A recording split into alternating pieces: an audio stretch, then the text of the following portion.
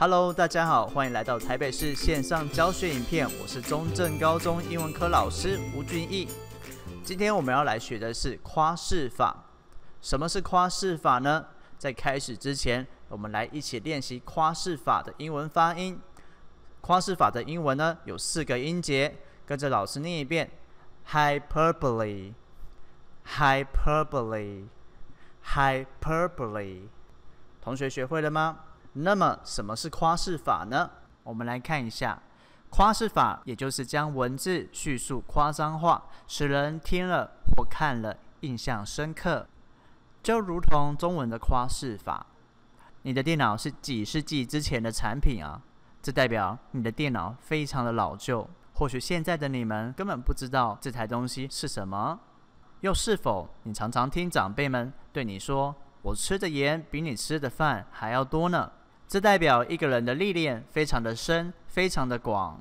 又或者是我们肚子非常饿的时候，我们常常会说：“我的肚子好饿，饿到可以吃下一头牛了。”又或者是我们等电话等得非常久，我们可以经常听到：“我等你的电话已经等了一辈子了。”所以，同学知道夸饰法是什么了吗？那么，为什么要有夸饰法呢？我们使用夸饰法来加强文字及说话的情绪效果和反应。此外，夸饰法可以让你的英文更富感情、更生活化的表达。接下来，如果你还不清楚夸饰法的目的为何，那么我们来比较夸饰法与一般描述的句子。我们先来看左边这个句子：If Henry can't see his girlfriend, he will die。右边的句子。Henry loves his girlfriend very much。同学们可以分辨得出来哪一个句子是夸饰法吗？没错，左边这个句子是夸饰法，因为呢，他说到如果 Henry 他没办法看到他的女朋友，他就会死掉，这是非常夸张的用法。接着我们来看一下下一组的句子，左边这一句，He is a very rich person。右边这个句子。He's got thousands of tons of money。同学们，哪一个句子是夸饰法呢？没错，答案是右边这个句子。他非常的有钱，以至于他的钱有好几千吨重。我们再来比较一个句子，左边这个句子，That joke is so old that the last time I heard it, I was riding on a dinosaur。右边这个句子，That joke。is so old that no one is laughing。同学们，左边和右边哪一个是夸饰法呢？没错，答案是左边这个句子哦。那个笑话太老旧了，以至于上一次我听到它的时候，我还骑在恐龙的背上呢。那代表这个笑话是非常的老旧，久至远古的恐龙时代。我们再来比较最后一个句子，左边这个句子。The movie was so long that I grew an inch after it finished。右边这个句子，The movie was so long that I fell asleep in the theater。同学们是左边还是右边？相信你们应该有足够的判断能力。没错，答案是左边这个句子是夸饰法。为什么呢？因为句子里面提到了这部电影非常的长，长到当这部电影结束的时候，我都已经长高了一寸。所以这是非常夸张的叙述。那么接下来，同学，我们会在哪边看到夸饰法的使用呢？基本上，夸饰法的使用常常出现在非正式的口语表达里面。除了在日常生活中常常听到夸饰法之外呢，我们常常也在诗歌曲里面听到夸饰法。所以呢，同学，我们可以看到，在国外的歌曲里面，像是我们可以在 Bruno Mars 的这首《Grenade》里面看到，像是歌词中的 "I'd catch a grenade for you, I throw my hand on a blade for you, I jump in front of train for you, you know I'll do anything for you"。所以呢，这四个句子，同学们有没有发现，这些都是不可能会发生的？Grenade 这个单字呢，是指手榴弹的意思。它第一个句子说到了。我会为了你接住手榴弹。第二个句子，他说到：“我会为了你挡下锋利的刀刃。”第三个句子，他说：“我会为了你挡下火车。”最后一个句子，他说了：“我会为了你做一切的事情。”同学们可以看到，在歌词里面，特别是在爱情的歌曲里面，我们常常会用到非常多的夸饰法哦。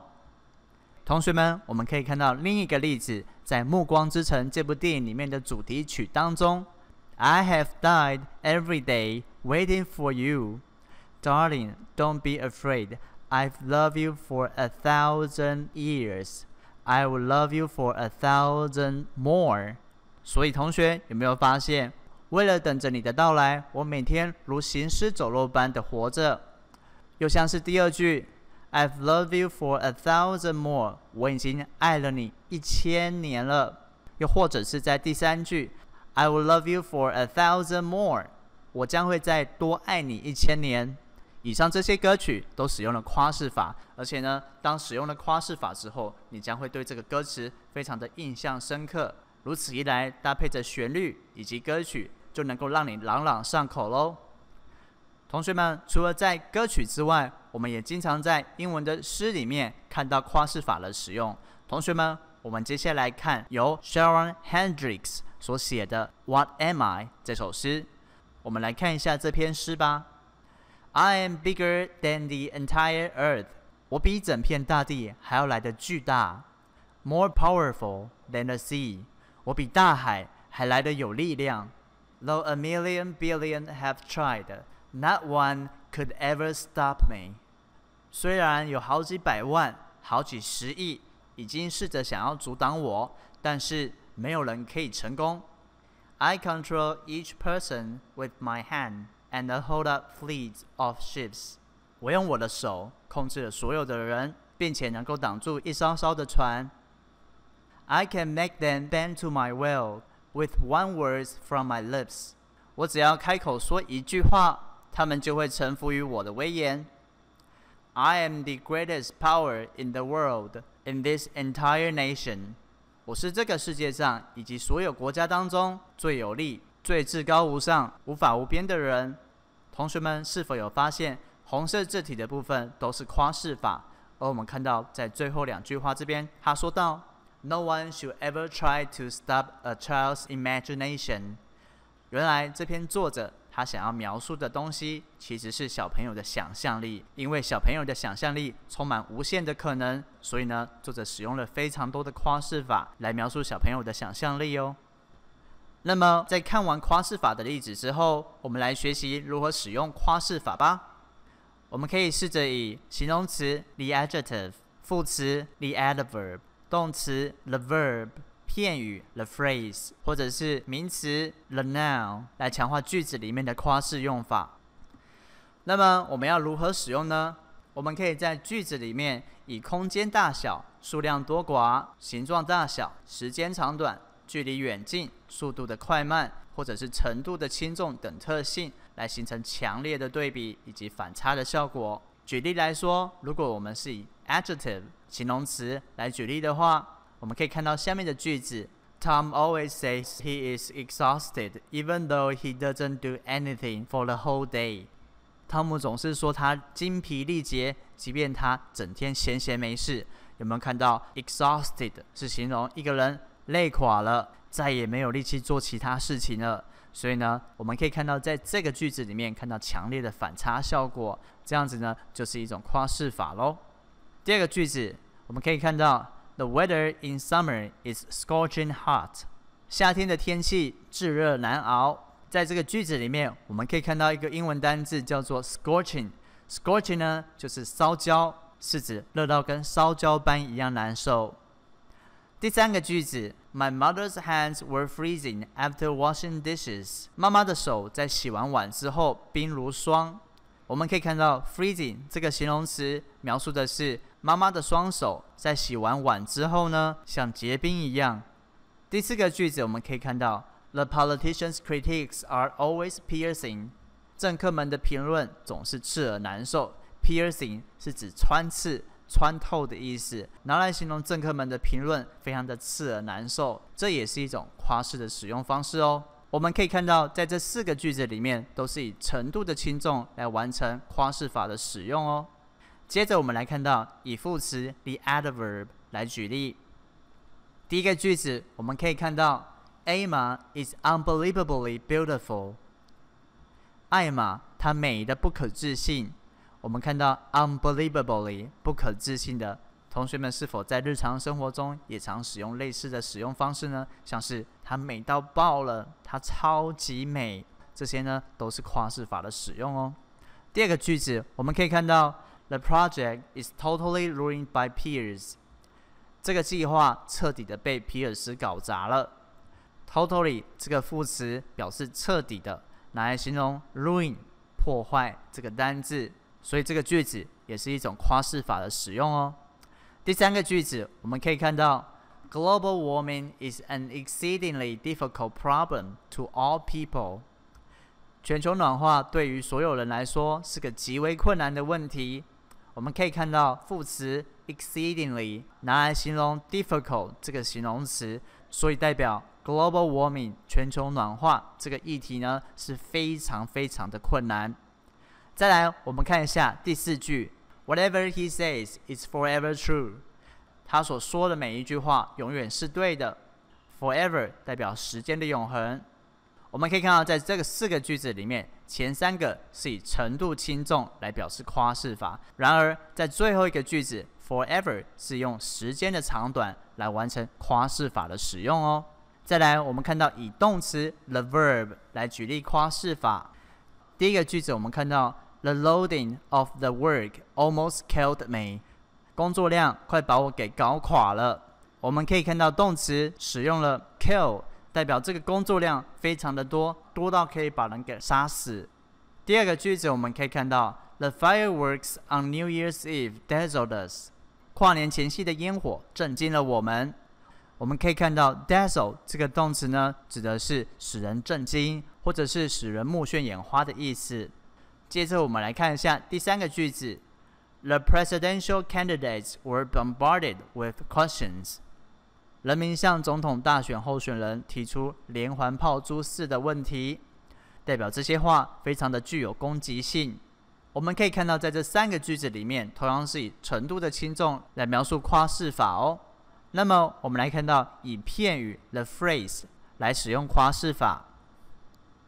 我们可以看到第一个例句：The line to Jolene's concert was so long that it extended from here to Mars。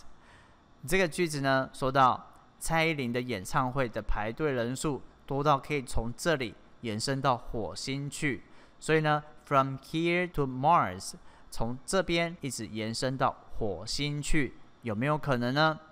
代表蔡依林的演唱会非常的成功，吸引到非常多的粉丝来排队看她的演唱会。第二个句子，I have been waiting for your phone call for ages。我已经等你的电话等了非常的久了。我们可以看到，for ages 代表呢时间非常的久，过了好几好几个世代，所以这是一个时间副词的片语，拿来形容等电话等了非常的久。第三个句子我们可以看到，Jordan jumped so high that he can almost reach up in the clouds。乔丹能够跳得非常的高，他几乎能够触及云朵。Up in the cloud 这个片语拿来形容 Jordan，他跳的高度非常的高，高于常人。好，第四个句子我们可以看到 Edison worked day and night on his research。爱迪生日夜不分的做他的研究。所以同学，我们可以看到 day and night 这个日夜不分的拿来形容爱迪生，他非常的努力在他的研究上面，甚至他无法分辨白天和晚上的差别。同学们，我们可以看到，在这四个句子里面，第一个句子是以距离的远近来描述夸饰法；第二个句子呢是以时间的长短来描述夸饰法；第三个句子一样是以距离的远近来描述夸饰法；最后一个句子呢，一样我们可以看到是以时间的长短来描述句子的夸饰法。最后一个，我们以名词的 noun 来举例夸饰法的使用。我们可以看到，在第一个句子里面。Johnson is so hungry that he can eat a horse。强森他饿到能够吃下一匹马。同学们光用想的就知道这件事是不可能的，所以理所当然这是一个夸饰法。第二个句子，Richard's mansion is like the presidential palace。理查的宅地就像总统宫殿一样，代表他所住的地方非常的豪华，就像总统宫殿一样。第三个句子，Nancy is too poor to afford a meal。南希穷到一顿饭都付不起。A meal，一顿饭虽然好像没有什么，但是有人可以连一顿饭都付不起，这也是一种夸饰法哦。第四个句子，Brian walks as slow as a snail。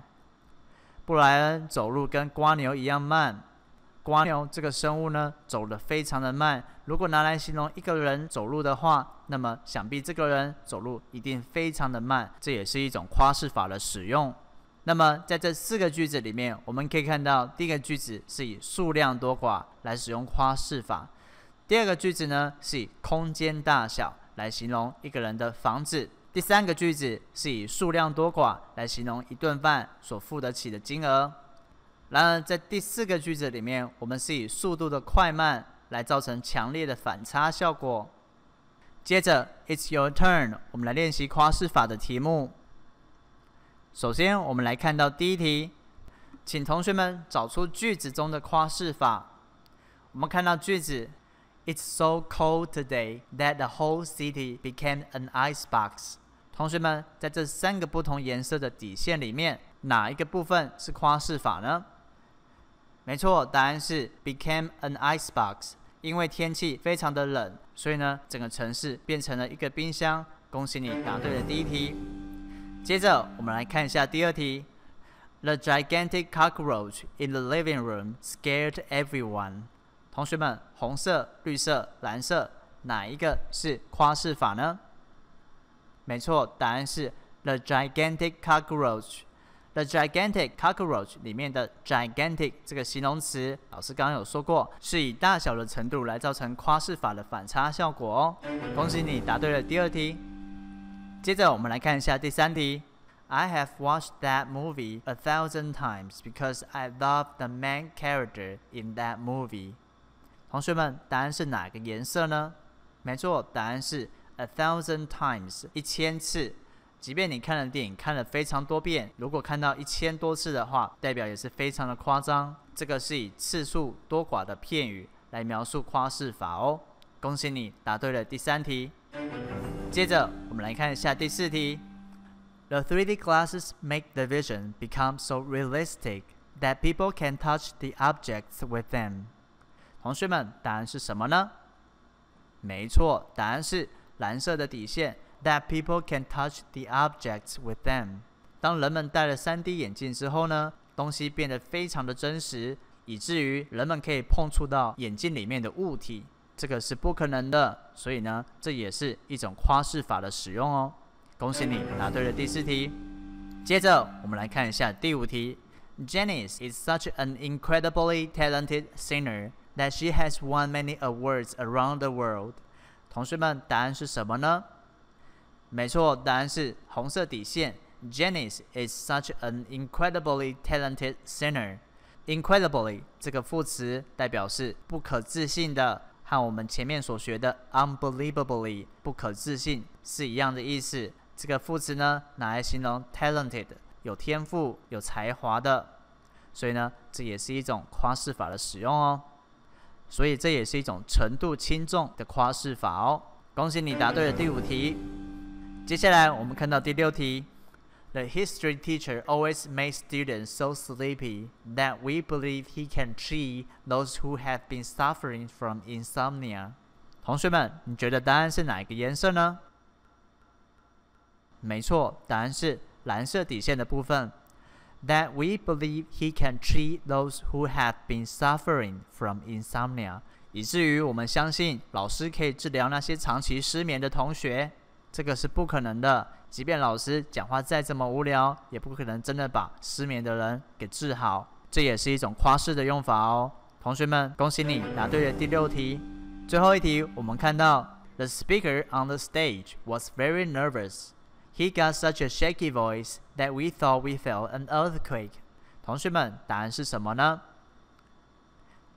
同学们是否有感受到地震了呢？没错，答案是蓝色的底线部分。That we thought we felt an earthquake。我们感受到了地震。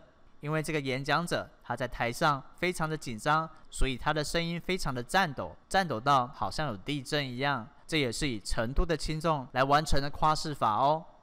恭喜同学答对了最后一题，Congratulations！恭喜同学答对了所有夸饰法的题目。以上是夸饰法的介绍与使用方法，你学会了吗？I'll see you next time. 拜拜。